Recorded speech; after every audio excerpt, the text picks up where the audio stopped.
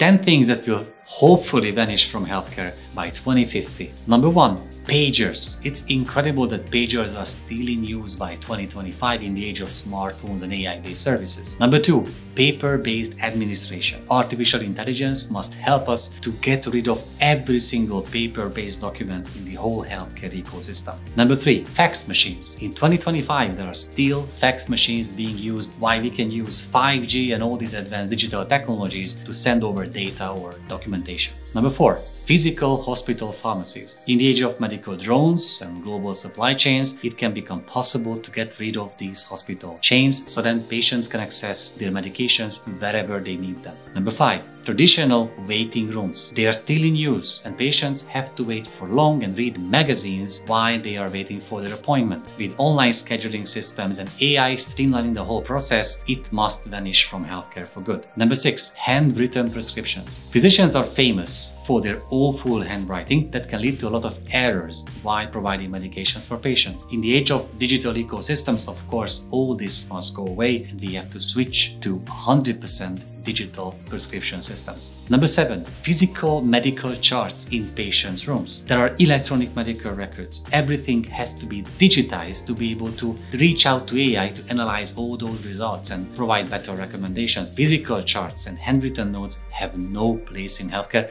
not just by 2050, even now. Number eight, traditional blood draws by human beings. There are robots now that can take a blood sample as efficiently and safely as a phlebotomist, a human being taking care of the whole process. While we patients have to get accustomed to a robot taking care of this traditional process, it must go away and must be automated. Number nine, bulky machines like ECG devices on carts. This is coming from the past and with devices becoming smaller and having better design and simply being integrated into smartphone-like devices, those bulky machines are going through an evolution from the ECG to even portable ultrasound devices that could become a handheld arsenal for medical professionals. And number 10, manual analysis of radiology images. While radiologists will not be replaced by AI, the analytical process must be automated as much as possible. And the AI will only flag those records,